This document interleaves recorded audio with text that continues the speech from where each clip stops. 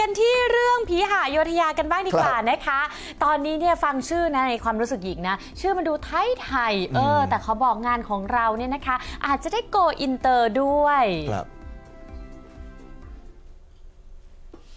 กำหนดเดิมจะต้องเข้าฉายตั้งแต่วันที่ 19 กุมภาพันธ์ที่ผ่านมาสำหรับภาพยนตร์สยองขวัญ action ย้อนยุคผีห่าอโยธยา ผลงานเขียนบทและกำกับภาพยนตร์โดยหม่อมราชวงศ์เฉลิมชาตรียุคล ที่ยอมตัดใจขอเลื่อนฉายออกมาก่อนนำกลับมาแก้ไขเพื่ออรรถรสและความสมบูรณ์แบบมากขึ้น รวมทั้งเรื่องนี้คุณชายอดัมยังแง้มกับทีมข่าว True Insight ว่า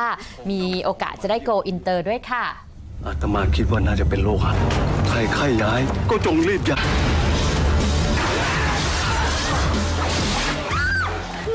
เบบี้คง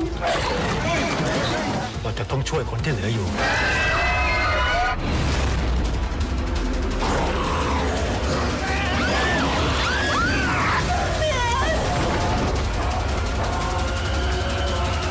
ก็ยังอยู่ในช่วงของการแก้ไขครับผมอย่างที่เห็นว่า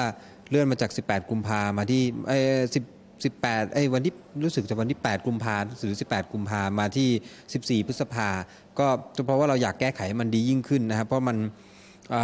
ตัวมันเองยังไม่สมบูรณ์แบบ100%เต็ม แล้วก็พอมันได้รับการพรีเซลในการขายต่างประเทศได้ได้ได้ราคาดีก็ความคาดหวังก็สูงขึ้น ความคาดหวังจากทางทางค่ายก็สูงขึ้น ความคาดหวังจากจากผู้ชมก็สูงขึ้นจากการดูตัวอย่าง ดังนั้นเราก็เขาคิดว่าเอ้ยเราควรจะปรับให้มันดียิ่งขึ้นกว่าเดิมได้ไหม ตอนนี้ก็มีเวลาเพิ่มมากขึ้นก็ก็ได้ทำงานมากขึ้น ทั้งหมดกี่ประเทศนะคะที่ติดต่อซื้อขายกันเอ่อผมไม่ทราบเลยครับ เพราะว่ามันเป็นวิธีการคือ คือขั้นตอนของการขายหนังต่างประเทศมันไม่ได้เป็นแบบฟันธงว่าประเทศนี้ประเทศนั้นแต่จะมี distributor ที่มาซื้อต่อจากเราไปทีเหมือนผู้จัดจำหน่ายฮะเหมือนกับสหจัดจำหน่ายให้นเรศวรใช่ไหมฮะอันนี้ก็เวลาฉายต่างประเทศก็มีผู้จัดจำหน่ายต่างประเทศที่ซื้อสิทธิ์ของภาพยนตร์เราไป แล้วไปขายไปดูแลต่อในประเทศนั้นๆอีกทีครับบางทีก็อาจจะเป็นประเทศใดประเทศหนึ่งบางทีก็อาจจะเป็นสี่ห้าประเทศกลุ่มสี่ห้าประเทศ ซึ่งซึ่งผมก็ไม่ได้ลงไปดูรายละเอียด เรื่องนี้จะโกอินเตอร์ไปต่างประเทศหนังไทยทุกเรื่องโกอินเตอร์หมดอยู่แล้วครับรายได้ของภาพยนตร์ไทย โดยเฉลี่ยได้จากต่างประเทศมากกว่าคนไทยดูอยู่แล้วนะครับ ดังนั้นถามว่าโกอินเตอร์หนังไทยทุกเรื่องโกอินเตอร์ครับผมอ้าวนะครับ อย่างนี้ก็ต้องรอพิสูจน์กันนะครับ ว่าฝีมือคนไทยจะเจ๋งขนาดไหน 14 พฤษภาคมในโรงภาพยนตร์ครับบ